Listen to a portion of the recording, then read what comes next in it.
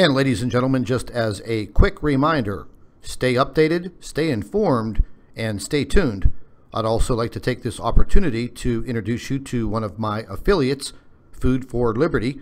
If you are interested in emergency prepping supplies, you can visit Food for Liberty by clicking on the link in the description box. Also, don't forget to subscribe to the Nibiru channel and Planet X News for all of your updates.